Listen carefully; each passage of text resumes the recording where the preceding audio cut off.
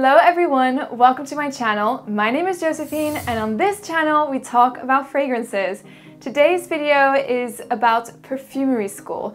So I asked you on YouTube but also on Instagram what type of questions did you want to know about perfumery school?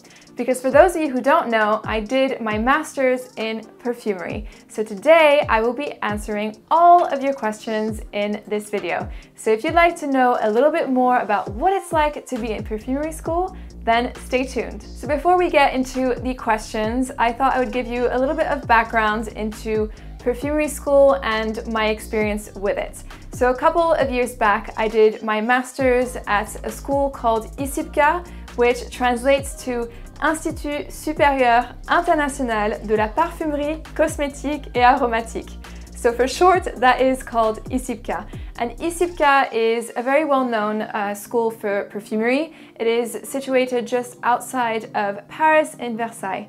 And a lot of perfumers and famous noses have been there. An example is Francis Kurkdjian. He studied there, for example, and it's very well known within the fragrance industry. Now there's lots of other really good schools too, but I did my program at ISIPCA and this is my experience in perfumery school at that school. So the program that I did was the European Cosmetics and Fragrance Master, EFCM for short and that is a two-year program. You spend a year at ISIPCA where you learn all about cosmetics and perfume formulation, evaluation, and as well as raw materials, ingredients, so you're being trained on these materials. The second year I spent in Italy doing my master's in business, marketing, etc. that was related to perfumery. So I was in two different schools, but it was still under that one master degree that is delivered by ISIPCA. And at the end of those two years, I did an internship to validate my degree within a fragrance house. And so when I mean fragrance house, I mean a creative center, so where they actually create the perfumes, the juices. That's where all of the perfumers are based for brands like YSL, Hugo Boss. So that is my experience, my early experience within fragrances. And today I work within the fragrance industry and I'm basically living my passion on my day-to-day -day job and also on YouTube. So I live, breathe, and sleep fragrances. So now that you've had a little bit of background, let's get into your questions. So I've had lots of questions in terms of admissions, how you get into perfumery school, what are the qualifications, etc. So let's begin with that. So one of the questions is from Antonio Sanchez. It is, what are the requirements to attend a perfumery school? How long does it take to graduate? What's the price? And do they have a job placement program after graduating? Excellent question, Antonio. Thank you so much. One of the biggest requirements for the program that I did was that you needed to have a bachelor's in science. So I have a bachelor's in science, but it can be in biology, it can be in chemistry or biochemistry. So any of those are good to qualify for the program that I specifically did. And the reason why is that we do have chemistry classes in the first year and it does help you understand how the ingredients uh, work together, you know, all the different types of structures to better understand olfactive profiles and also extraction techniques. So that is one of the main requirements. So how long does it take to graduate? It really varies depending on the program that you're in. For me, it was two years, but if you go in another type of program, it can be four years. And I actually have some friends who work within fragrance houses who are uh, trainee perfumers, and that's like another three or four years. So it does take time. It's pretty much as long as getting a degree to become a doctor. If you want specifically to be a perfumer, if you want to go into other fields, you don't need to study as long as that. And so do they offer a job placement program after graduating? In my experience, we have had to do an internship, as I mentioned at the beginning of the video, for six months in order to validate our degree. So we were placed in companies thanks to the contacts of the school, but we also had to reach out ourselves to find internships within those companies. Now it's very difficult because the reality of the industry is that it's actually quite small and there isn't that many jobs within the industry. So you really have to either know people or if you do get an internship in a fragrance house, stick to that fragrance house and do all you can to stay within that perfume house because it's very, very difficult to find jobs. So Frag Enthusiast, hello Ricardo, thank you for your message. He's saying, uh, is there a common background shared among attendees, freelance, indies creators, essays, people within particular perfume houses, etc.? So the background for us that basically all puts us together is the fact that we have a scientific background, but other than that, it's pretty much you know, we have a very diverse background. In my uh, class, we were 20 from all over the world, so it was a really international class. Now they've opened the program to 40 people, and again, it's from all over the world. So I had people from India, from China, from the US, everywhere, which was super cool and really nice to be with all of these cultures and also hear about their experiences with fragrances. Next up, Miriam asks, what are the jobs you could look forward to when you graduate besides having your own YouTube channel? So my YouTube channel is actually a hobby. I have a full-time job other than YouTube that is also in perfume, but YouTube is um, my fun hobby on the side. So depending on the degree that you do, you'll get different jobs. So the one that I did, it was a very broad program that taught you many different things of the industry. So we had training in uh, formulation, in evaluation, in raw ingredients recognition. So you could go into becoming a nose or a perfumer, or you could come into working in fragrance evaluation, which is the person that links the perfumer to the marketing team and the client. You can venture into marketing, which is where I'm at.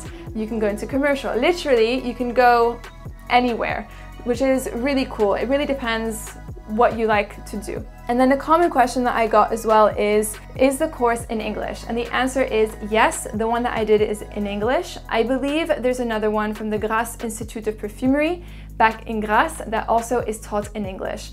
And actually, if you go online, they offer online courses, which is super awesome. So you can find perfumery schools that are taught in English in France. And one thing that I will say is that the best perfumery schools, the best of the best, are all based in France. There is really a handful of them that are phenomenal and great to learn the ropes of the industry. It's ISIPCA, École Supérieure euh, du Parfum, which is based in Paris, and you have Grasse Institute of Perfumery in Grasse in the south of France. The next question is from Olfactive Stories. What's a typical day at perfumery school? What kind of courses do you have? Where are the other students coming from? So I've already answered the where are the students coming from part. They're from all over the world. And in terms of a typical day, well, one of my favorite days is a day when you're in the lab. So you have a full day in the lab from 9 to 5 where you're formulating with fragrance ingredients. So for example, I learned how to build basic accords which are fougère fragrances, chypre perfumes, and oriental scents. So it's literally the olfactive pyramid. You know exactly what ingredients go into like your top, middle, and base notes, and you recreate an oriental fragrance or fougère perfume. I've also recreated different types of flower accords, so a rose, a rose absolute, a rose essence, jasmine. So that is really fun because you really get to experiment and play around with the fragrances. I will say though that it is super intense. Sitting from 9 to 5 in a lab is really intense when you're smelling constantly because when you're smelling, it actually requires a lot of concentration. You don't realize it until you get to the end of the day and you're totally dead. so it does take a lot of mental effort when you're in the lab, but it's really worth it. Another time we'll be training on uh, fragrance materials. So we used to have a palette of ingredients that we would train on when we would be at home or also at perfumery school. And so we would all smell together different notes, both synthetic and naturals, and try and describe them during the class with the teacher. So that was like another course that I had within perfumery school. Rena Shillian asks, what resources can we use to learn more about perfumery, notes, etc., without going to perfumery school? So there are some great online resources for this. One that I can think about is Experimental Perfume Club. So they're a brand based in the UK that create fragrances, but they're also known for doing fragrance workshops. And they actually have an online course. I actually checked the website earlier where you can learn basic formulation to create fragrances, also some courses about ingredients and like how to recognize them, etc. So that is a really good resource. I'm sure there's other brands that do that. If you type in Google local uh, perfumery workshop, I'm sure you'll find some things. I've done that for London and there's lots of little workshops like that that can be super helpful. There's definitely a few in Grasse and I went to one of them which was done with Molinard and it was fantastic. So it's a lot of fun. You get to create your own fragrance. In terms of other resources, Fragrantica is fantastic. If you want to learn more about perfumery notes, what say lemon or lime smells like, Fragrantica have a whole section dedicated on notes uh, on their website, but also if you like a fragrance and you search it, then you can always find something that is similar as well on Fragrantica. So that is really good to help train yourself um, in terms of re recognizing different notes, different types of fragrances, etc. Now, one thing I will say as well is that all you need to really do is just go out and smell perfumes. It's one thing to recognize ingredients, it's another to recognize different types of fragrances because once you have different ingredients within a perfume, it's completely different. There's lots of different things going on rather than focusing on one material. So go out, go in store, smell different perfumes and train your nose that way. That is one of the biggest tips I can give you. And also if you do have an olfactive kit at home, if you found some essences, smell them every day. If this is something that you want to do, your brain and your recognition of smell is a muscle. You need to train it every single day, otherwise I promise you will forget. Then we have a question on how do they blend different notes? Is there any formula? I mean the ratio of essences. So yes, you have basic ratios for different accords like your chypre, uh, fougère, etc. But ultimately it's about experimenting and um, that perfumery is a science, creating perfumes is a science, but it's also an art. So it's mixing science, art and creativity to create a fragrance. So it's really about experimenting and having fun with perfume. Okay, then Ek Manzer. Are students allowed to wear perfume in class? Do instructors wear perfume? And if so, does it create difficulties in the lab?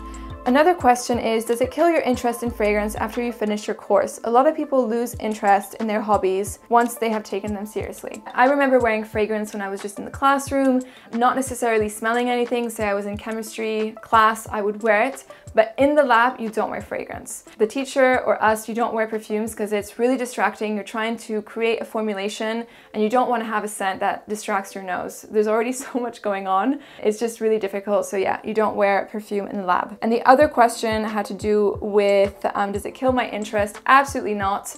As I said previously, I work in perfumery, and then after that, I do YouTube videos. So yeah, for me, I absolutely love fragrances. I don't see it, I don't see myself falling out of love with it. I'm completely obsessed, and it just makes me really happy. Next, we have questions on fragrance creation and formulation. So what process do they use in blending so molecules stay together? So the way that we worked in the lab is that you have your natural ingredients and your synthetics. They come in different forms depending on the extraction technique. So you can have an essence or an absolute. The difference in name depends on the extraction.